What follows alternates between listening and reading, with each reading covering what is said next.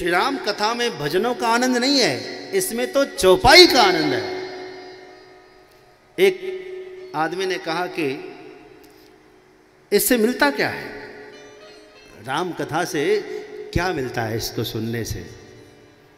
कहा कि तो आपको चाहिए क्या? बोले, हमको जो चाहिए मिल जाएगा? बोले हाँ। इसमें सब मिलता है। हाँ मती कीरति गति भूति भलाई। मति कीरति गति भूति भलाई। जब जेहि जतन, जहाँ जे पाए जब जे ही जतन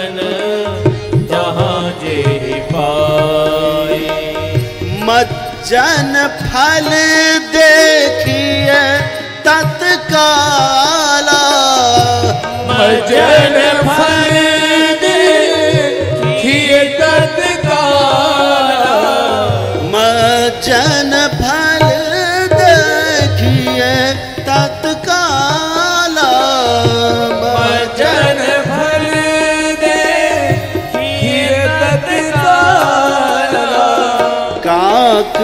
हो पिक बक उमराला।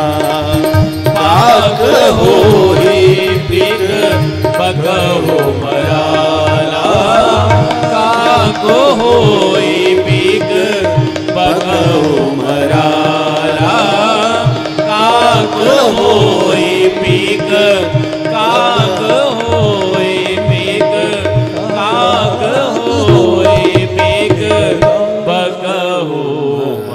मराला जरा सुनो, क्या क्या मिलने वाला है आपको?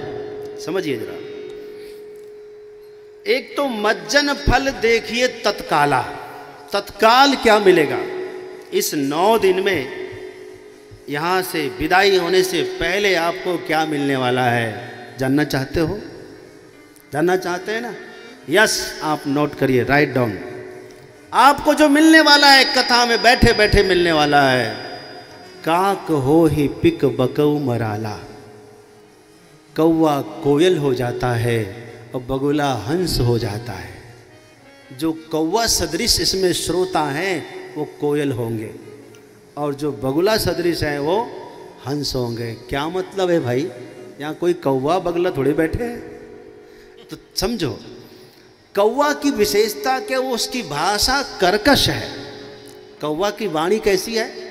कर्कश है। जो कटुवादी है, कर्कशवादी है, वह भी मधुर भाषी हो जाएगा। काक हो ही पिक पिक मतलब कोयल। कोयल की तरह आवाज़ आपकी होने वाली है। ये तत्काल फल आपको मिलेगा। इस नौ दिन के दरमियान मिलेगा। आपकी वाणी मधुर हो जाएगी। दूसरा, इसका भी कम उपयोग नहीं है भाई। हर पुरुष वर्ग इस चीज़ से परेशान है। क्यों भाई? हर पुरुष वर्ग परेशान है। एक आदमी की घरवाली बेहोश हो गई। बेहोश तो छोड़ो, एक आदमी की घरवाली की एक आदमी ने तस्वीर बना दिया। क्या कर दिया? वो पेंटर होते हैं ना आजकल। खुश करने के लिए उसकी बीवी की तस्वीर बनाकर ला दिया। उसने देखा, वाह, बढ़िया बना है। उसने कहा, सरकार, अभी क्या है? ऐसा बना दो कि बोल पड़ेगी। बोले, बस, यही नहीं करना। यही नहीं करना। बोले, ऐसा बना दो, ऐसी तस्वीर बना दो कि बस बोल पड़ेगी। बोले, बस, यही नहीं चाहिए। क्योंकि एक बार जब बोल जाती तो चुप ही नहीं हो पाती। एक आदमी ने कहा कि पत्नी को आप खुश तो कर सकते, लेकिन चुप नहीं कर सकते। ये शोध में बताया है। शोध से पता चला है कि आप खुश कर देंगे, चुप नहीं कर पाएँगे। हाँ। बड़े बड़े नहीं कर पाए, आप क्या कर पाएँगे? बड़े बड़े नहीं कर पाए। हम चर्चा करेंगे। तो काक हो ही पिक भाई कड़वी कड़वी बोलने वाले अच्छी अच्छी बोलने लग जाए तो पहला लाभ है कि नहीं? है? है लाभ? दूसरा देखो, बकऊ मराला। अभी आप लोग खुश हो गए कि श्रीमती अब मीठी बोलेगी तो आनंद आ जाएगा।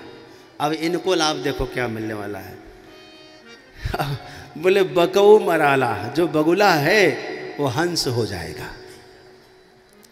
बगुला क्या है भाई? बगुला देखने में तो बड़ा सुंदर, साफ़ सुथरा रहता है, लेकिन उसका खान पान ठीक नहीं होता है। ये सब घरवाली परेशान रहती इस बात से कि उसका हस्बैंड गुटखा खा लेता है, और बिस्तर पर उसके मुँह से बदबू आती, बेचारी कह भी नहीं पाती। है? उसका पतिदेव कभी शराब पी लेता है, उसका पतिदेव कुछ भी खा पी के नशा खा पी के तो बेचारी को घर में सुकून नहीं है, कष्ट है।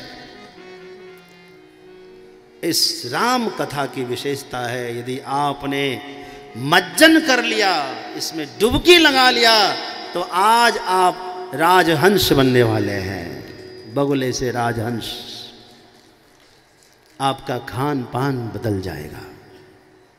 आप जो क्या खाना चाहिए, क्या नहीं खाना चाहिए, आप इसका निर्णय कर सकेंगे।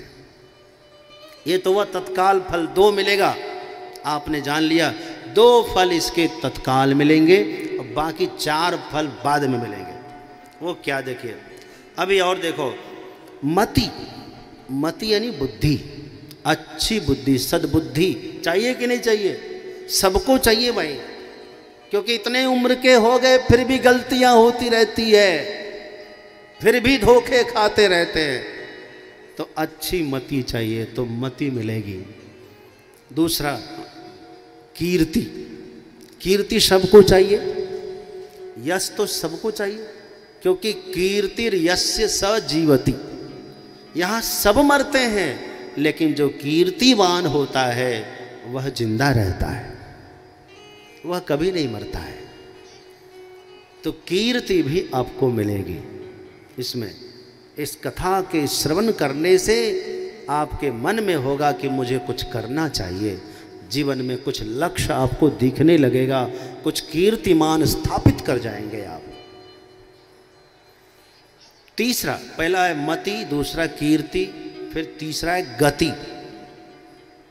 गति कहते हैं सदगति को। यानी आपकी दुर्गति नहीं होगी साहब। दुर्गति समझते ना? कभी दुर्दिन आपके जीवन में नहीं आएगा। अच्छे दिन आपके बने रहेंगे, ये राम कथा से मिलने वाला है। तीन हुआ मति, कीर्ति, गति, फिर लिखा चौथा भूति। भूति मीन्स ऐश्वर्य, वैभव। ऐश्वर्य की भी आपको कमी नहीं रहेगी। आपका जीवन ऐश्वर्यशाली होगा वैभवशाली होगा, प्रभुता संपन्न होगा आपका जीवन। और पांचवी है भलाई। भलाई मतलब सीधापन, सरलता, रिजुता हाँ आर्यवता। आपका जीवन कठिन नहीं, सरल होगा। कोई व्यक्ति आपको देखेगा तो देखते ही मन में एक बात आएगी कि आदमी कितना सीधा है, कितना सरल है। हमारा जीवन सरल होना चाहिए, कठिन नहीं होना चाहिए। मति, कीर्ति, गति, भूति और भलाई, ये पाँच। बोले, ये पाँच चीज़ जब जिसने जहाँ भी पाया है वो केवल और केवल सत्संग से पाया है। इसके अलावा कोई स्थान नहीं है जहाँ मिला हो। हाँ। और एक तो हमने कहा ही नहीं, ये तो हमने सब, ये तो बता दिया, पाँच चीज़, है ना? और चार चीज़ है, वो है, सुनी समुझहि जन मुदित मन। मज्जही अति अनुराग। लहहि चारि फल अछत तनु। साधु समाज प्रयाग। चार फल, अर्थ, धर्म, काम और मोक्ष। ये चार पुरुषार्थ होता है जीवन का परम फल।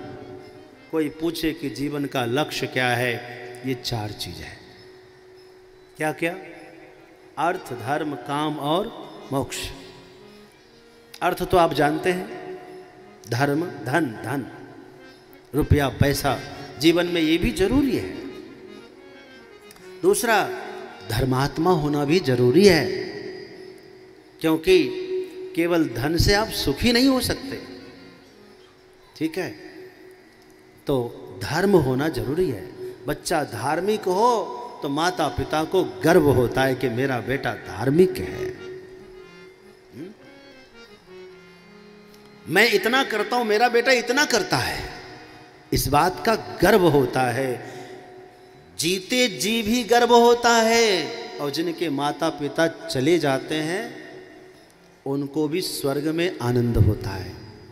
जब आप कोई बड़ा कार्य करते हैं ना, स्वार्थ से ऊपर उठकर धार्मिक कार्य तो स्वर्ग में हमारे पितर नृत्य करने लगते कि देखो, एक भक्त हमारे खानदान का नाम रोशन कर रहा है।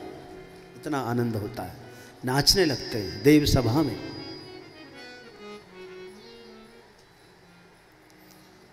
धर्म, अर्थ, काम काम कहते कामना की पूर्ति। जो जो भी कामना है, सारे कामना जीते जी पूर्ण हो जाते हैं उसकी। सारी कामनाएँ।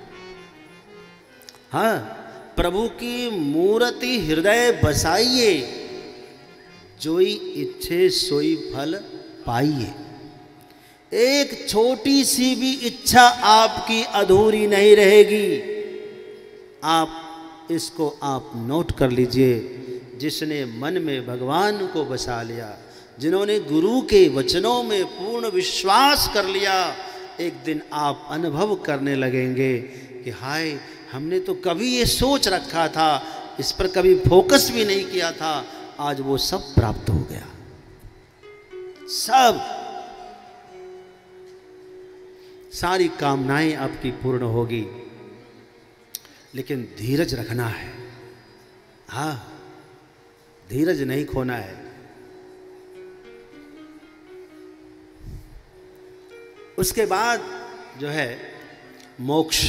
अंतिम फल क्या है जीवन का? जीवन का अंतिम फल है मोक्ष। मोक्ष यदि सिद्ध नहीं कर पाए तो जीवन अधूरा है, फिर आना पड़ेगा। और जब तक मोक्ष सिद्ध नहीं होगा, तब तब आना पड़ेगा। यानी सौ बार भी आ सकते हैं, हज़ार बार भी आ सकते हैं।